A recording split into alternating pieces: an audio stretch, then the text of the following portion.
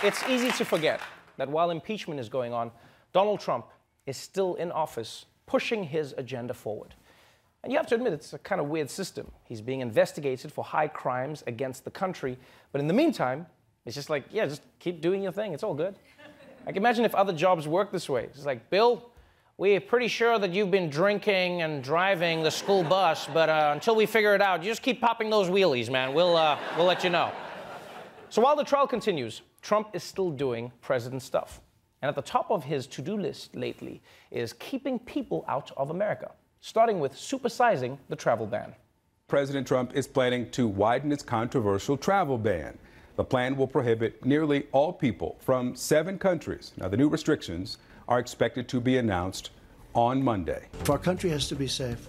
You see what's going on in the world. Our country has to be safe. So we have a very strong travel ban, and we'll be adding a few countries to it. Yes, Donald Trump is expanding his infamous travel ban.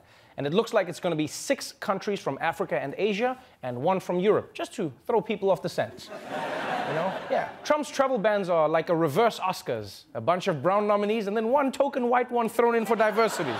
it's like, yeah, yeah, yeah. Now, I know, I know Trump's State Department claims they're doing this to keep America safe.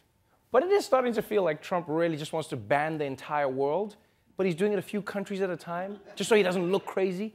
You know, it's almost the same way like how I treat the, the, the dessert, the dessert at a buffet. You know, oh, yeah, I'll just be like, yeah, I'll just, I'll just, have one of these. Yeah, maybe some of these. Yeah, yeah. Oh, I didn't see there was cheesecake. There's cheesecake. Do you want to cheesecake? I've, I've, I've got to have the cheesecake. I'll, I'll come back. I want.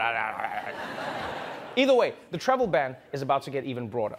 But while Trump is trying to stop people from moving here, he's also preventing them from being born in America in the first place. The Trump administration issued new rules today aimed at cracking down on so called birth tourism when women travel here to give birth so their children will automatically become U.S. citizens. And it comes after President Trump has railed against birthright citizenship. You're a dictator who we hate and who's against us. And that dictator has his wife have a baby on American soil. Congratulations. Your son or daughter is now an American citizen. Does anybody think this makes sense? Okay.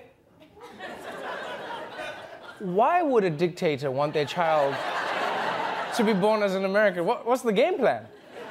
What, just have the kid born here, become a US citizen, and then when the kid returns home, be like, I have an American hostage and I have some demands?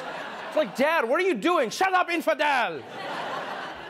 Now, now, even though Trump's example is crazy, he's not wrong about people abusing birthright citizenship. Every year, thousands of rich foreign women fly to America just to give birth so the baby can be a US, US citizen, and then they fly home. And if you ask me, it's a good example of the Constitution being behind the times. Because right? back then, when they came up with birthright citizenship, no one was just flying in for the weekend. Yeah, back then you were considered an explorer if you went more than three towns over. Yeah, people in New York were like, Did you hear? James went to New Jersey and he survived. so I get, I get wanting to limit birth tourism. But the question is how is Homeland Security going to determine who's coming in just to give birth? Because that could get pretty awkward at the airport. Well, the border agent is just going to be like, hey, no pregnant women allowed. Oh, you're, you're not pregnant? Okay, fine. You can come in, but take a spin class or something. Come on. So maybe curbing birth tourism isn't the craziest idea, but Trump isn't just going after rich families. No, he's also targeting the tired, huddled masses yearning to breathe free.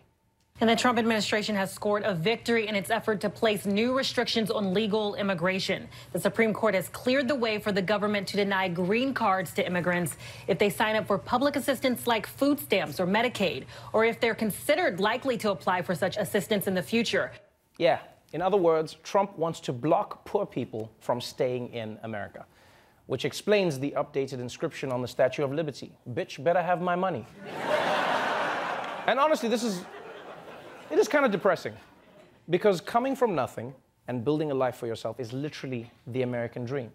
It's basically what the country was founded on. Well, that and the freedom to get weird ass haircuts, but that mostly. And the irony of this law is that Trump's own mother arrived in America as a poor immigrant with barely any money to her name. So if these rules were in place when she came over, she probably wouldn't have been allowed to stay. She would have been denied a visa and sent packing. And then there would be no President Trump. So I'm not saying the law is terrible. I'm just saying it's about 100 years too late.